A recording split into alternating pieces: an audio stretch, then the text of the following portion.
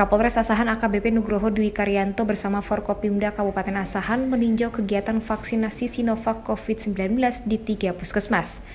Dalam peninjauan vaksinasi Sinovac COVID-19 ke puskesmas yang dikunjungi, Kapolres Asahan bersama Forkopimda Kabupaten Asahan mengunjungi tiga puskesmas antara lain Puskesmas Mutiara, Puskesmas Gambir Baru, dan Puskesmas Sidodadi. Pelaksanaan vaksinasi Sinovac COVID-19 di puskesmas ini juga harus mengikuti tahap-tahap, seperti dari meja pendaftaran, meja pengecekan tensi, serta pengisian formulir kesehatan peserta. Kapolres Asahan AKBP Nugroho Dwi Karyanto mengatakan, TNI Polri siap mendukung program pemerintah dalam menanggulangi pencegahan COVID-19 agar pelaksanaan vaksinasi tepat tepat sasaran dan sesuai target yang telah ditetapkan pemerintah daerah Kabupaten Asahan.